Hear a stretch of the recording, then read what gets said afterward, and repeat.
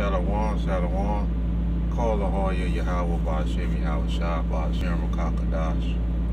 Double understood the apostle, elders, and prophets, and no respect to the brothers teaching and preaching the truth all over the globe worldwide. And to the hopeful that are scattered throughout the four corners of the globe. And to the few and to the few Akhbar, Akhbar that are listening and learning. To you I give a sincere Shalom and just coming back at you with a quick lesson through the power of spirit Yahweh Al Shah. And this lesson is going to start off with a dream, uh, well, a dream that I had. And um, the dream is, uh, may be a little odd, but uh, nevertheless, you see, it, it may be a little, little odd, but nevertheless, it's uh, it's gonna be um, gonna be um, you know, it's gonna uh, have scriptural meaning that's behind it. And the dream that I had, you know, and the dream that I had, um, it was a book, and you know that book that I, that I had, it, I can't remember specific of it, but it was a book book it was a you know it was in a black it was a book that belonged and it was a thing it was like a diary it was something else but nevertheless it had belonged to uh you know uh, the football player Dak Prescott. And you know I was remember that uh, I had you know had these books. And by me having these books I was looking for uh, you know that that uh, Dak Prescott get back those books. And uh, and it already, I don't know, it was like it was, you know, I was walking on on a on a bridge or something, and I looked down and I I think I had seen, I thought I had seen that that Prescott, and I don't know if he was like doing some type of video or rap video or whatever it was, and so. um and I had showed, you know, shown, I think it was like three books in my hand and then it was like he was on this uh I don't know like was like canoe or something. He uh canoe his way over over there to where I was at, and after I showed him the books, and and uh, he went and he received the books out of my hand, and I turned around and I and I believe I walked uh walked walked out. Or walked leaving, you know, and you know as I left, and you know something didn't feel right. And so I turned around and went back and and then the guy that I thought was Dak Prescott, you know, when I gave the books to, found out it wasn't him. So I, you know, I took the books back. And yeah, I took the books back and when I, you know, went to open the book, it was some pages that was torn out of the books, out of the, out of one particular book and I, you know, and I remember just being mad and upset about the page being torn out of the book. And then on, then it was like, I know it sounds crazy, but you know, I was scolding, you know, person, and then it was, I don't know, like, you know, a group of kids or what have not, you know, but nevertheless, you know, I was, I was uh, mad and upset because it was some pages that was torn out of the book, out of that particular book you know, and I was getting on to the uh, guy, uh, a, a, person that did it, and then the person that did it, he, he just had a look of this interest, like you know, he didn't care that the pages and stuff were torn out of the book, but nevertheless, you know, just uh, by having that dream, you know, it, it, the scripture came to mind. And, you know, let me pull it up real quick and you know, it, it, even though that it is a is a um,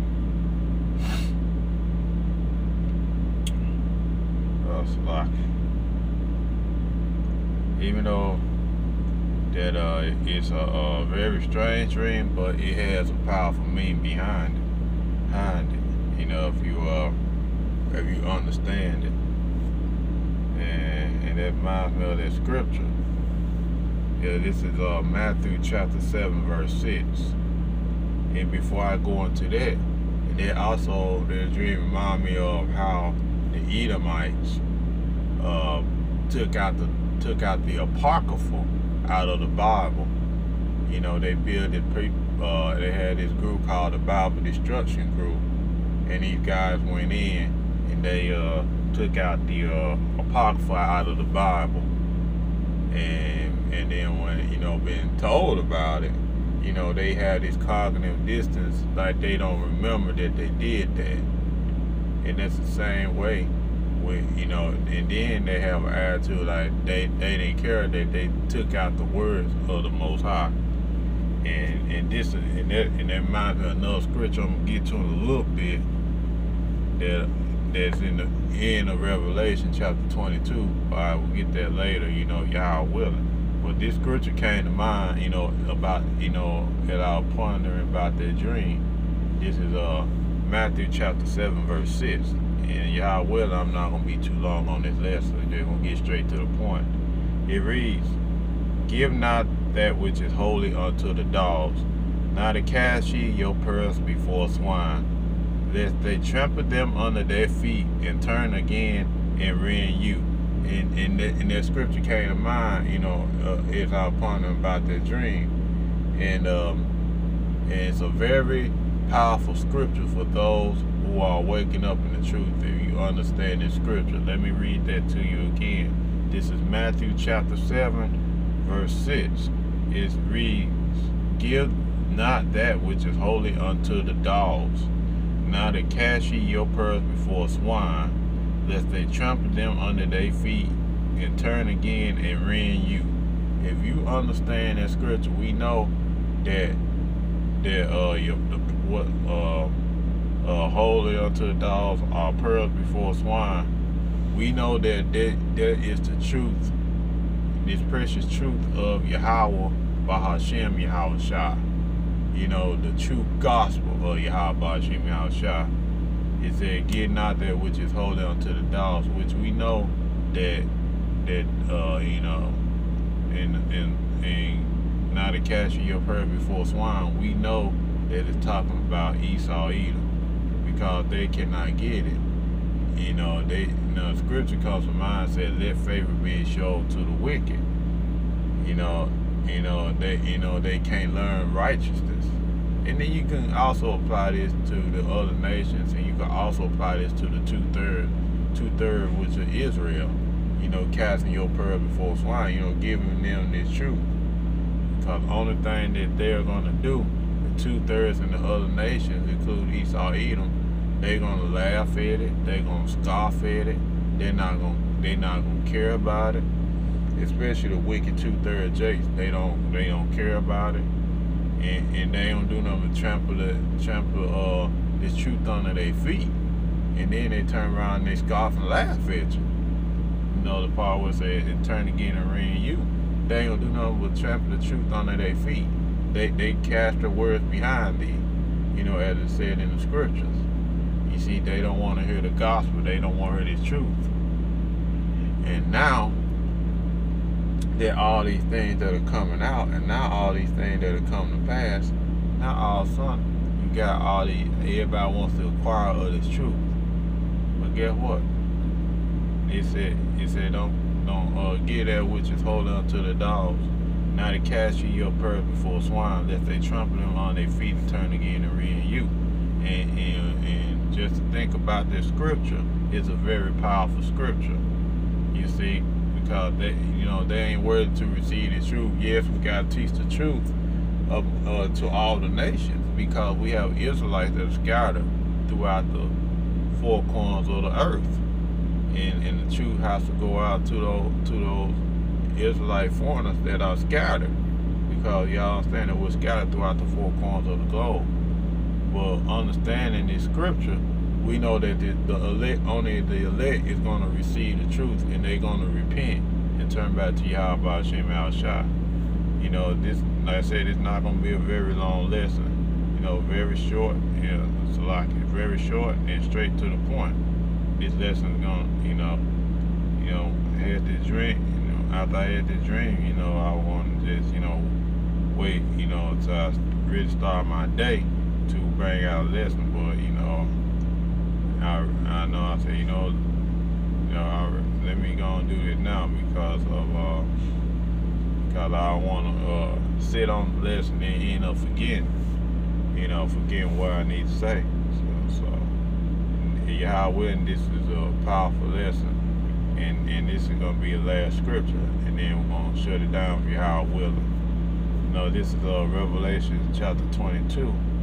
Uh, we're gonna go ahead and start at uh, verse 17. You know, it, the, the point is in verse 18 and 19. But it, it you know, it reads, And the Spirit and the bride said, Come, and let him that, that hear it say, Come, and let him that's thirst come, and whosoever will, let him take the water of life freely.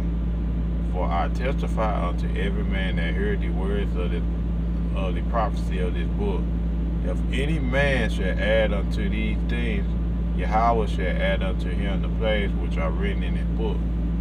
And, and if any man shall take away from the words of this book, of, the, of this prophecy, Yahweh shall take, take away his part out of the book of life and out of the holy city and from the things which are written in this book. And we know verse 19 is a very powerful point because you because the same way in the dream that uh that that got tore out the pages out this uh book that belonged to uh Dak Prescott, you know, that's the same way. You know, just just the, the thought of it is, is very powerful. The same way that Esau Edom took out the Apocrypha out of the uh, uh out of the scriptures and and he start he started you know changing words around in, in the scriptures you know, that's a very powerful, powerful thing. Most I say, if you uh, add them to the add them to the scriptures, you know, as Esau did, you know, change the words around. He said that the Most High is gonna add them to the place which are written in His book. And, and, and then verse 19 say, anybody that takes away, you know, from from uh from His word, you know, He's gonna take it take away their name out of the book of life, which you know that Esau uh, is rejected by Yahweh Hashem Al Shah. And, and, and, you know, he's profane. If you read it, you can read that in Hebrews chapter 12, verse 16 and 17. You know, in that word profane means outside the temple. You know, he can't he can't receive salvation. And that's why we tell Jace that stop trying to save Esau, you can't save him. Because he's rejected, the most high had rejected him. Point blank period.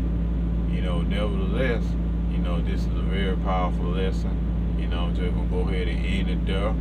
To say all praise to the Most High, Yahweh Bashim Yahushua, Bashim Kakadash. Double honors to the apostles, elders, and prophets. Enough respect to the brothers teaching and preaching the truth all over the globe worldwide. See you again with another lesson real soon. Y'all willing. Shalom.